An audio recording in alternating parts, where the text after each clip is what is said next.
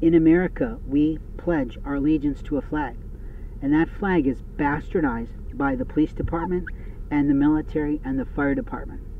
They choose to add additional colors to our human rights American flag. It's immoral what they're doing. It's illegal, or it should be, or does that fit underneath flag burning today?